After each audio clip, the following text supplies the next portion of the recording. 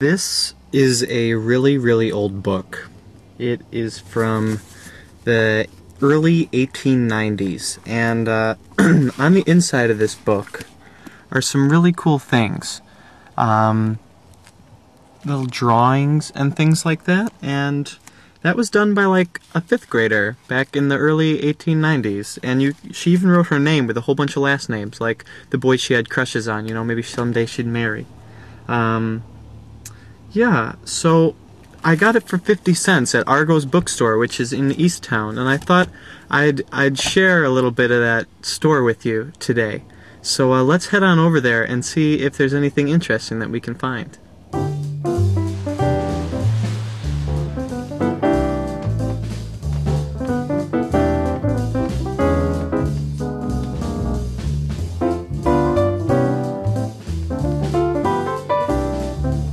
Science fiction, mystery sells real well, uh, poetry, uh, novels, history, Yeah. all kinds of stuff.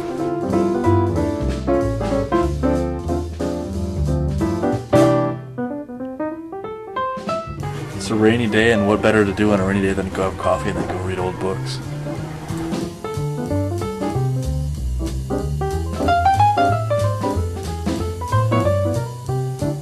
One of the best things about Argos bookstore is this rack right here. It's a one dollar rack. You can find like lots of books, like sometimes some really really old ones. That's where I got that that old book that I have. I mean, we got we got you know just free stuff here. We got who wouldn't want uh, Johnny Osage for a buck? Why not, huh? I mean, you can use it as a coaster if you don't read it.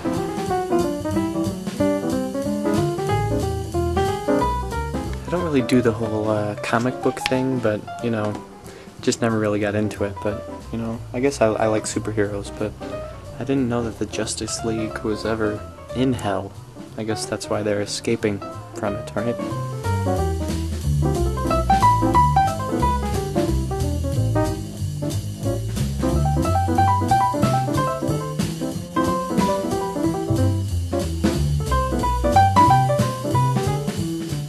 And most of our books are out of print. Most of them are kind of rare. Uh, well, a lot of our books are pretty cheap because they're just $3 paperbacks. And then we have collectible ones.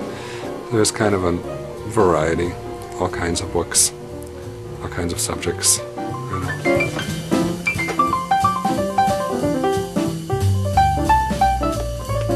And because I think that uh, losing yourself within the walls of, of old books is a lot more fun. It's like a journey, a journey through history. I mean, a lot more than going to a Barnes and Noble or a Borders and having the kind of regular corporate experience in, out in some strip mall. This is more of an experience. I think shopping at a place like this is an experience.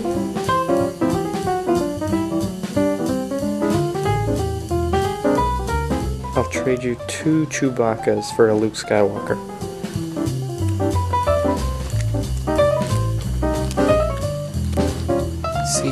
You know it's a good bookstore because there's a cat lying on a pile of books, and he's supposed to be here.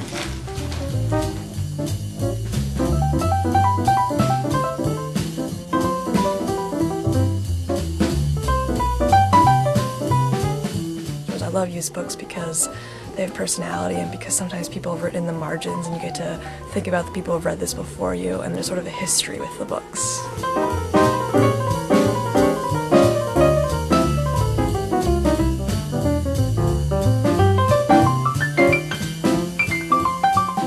I like books, alright? Books are cool. It's like history and pages, especially some of this stuff, you know? It's like really, really old and, uh, you know, the weight that it carries. I mean, hello, Time Magazine from September 11. That's going to be important in 50 years, and you can get it here.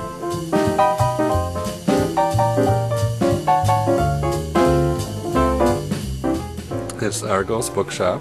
It's 1405 Robinson Road, Grand Rapids, Michigan, 49506. Usually we say at the corner of Lake Drive because it looks like it's on Lake Drive here. So it's Eastown, about a block away from Kava House, you know, close in that whole area by Yesterdog, Brandywine, little fun area of town. Great. check it out, get a book, go have coffee at Kava House.